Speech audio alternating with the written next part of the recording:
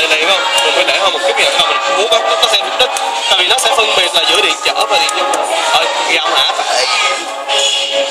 Tại không cái này chạy tốt rồi cái này chạy là ok rồi. Muốn vậy thì nó người ta thấy nó nhạy rồi. Hay thấy liên quan này rất là hay.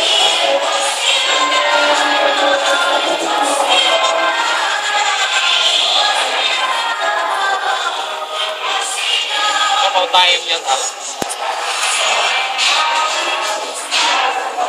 đấy chú.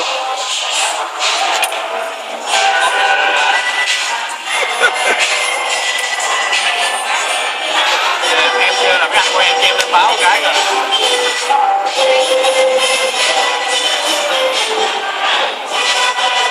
Chú là có tay hơi dài.